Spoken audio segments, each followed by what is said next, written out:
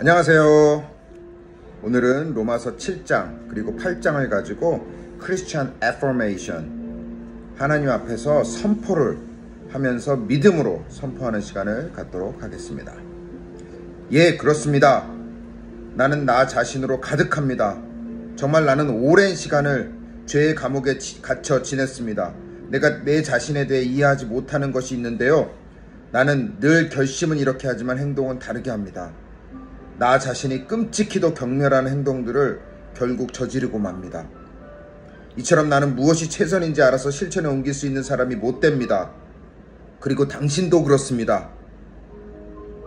내게는 분명 하나님의 도움이 필요합니다.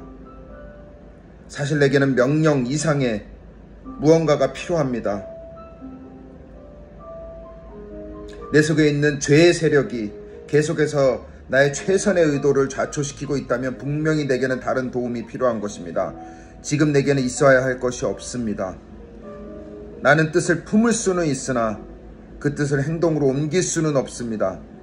나는 선을 행하기로 결심하지만 실제로 선을 행하지는 않습니다. 못합니다.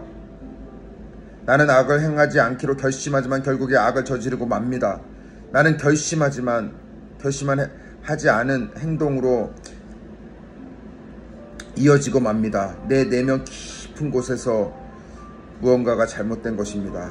그래서 나는 매번 패배하고 맙니다. 실패하고 맙니다. 이는 너무도 반복적으로 일어나는 일이어서 충분히 예측할 수 있습니다.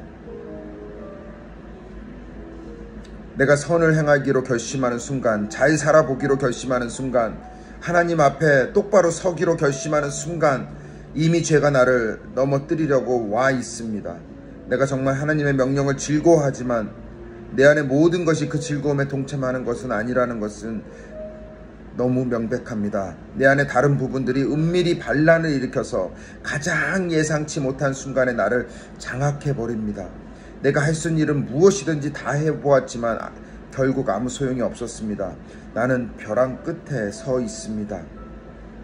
그리고 다 어쩌면 당신도 벼랑 끝에 서 있, 있 을수 있습니다.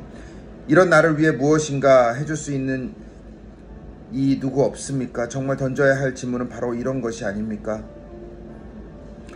감사하게도 답이 있습니다. 바로 예수 그리스도께서 그 같은 일을 하실 수 있고 또 하신다는 것입니다.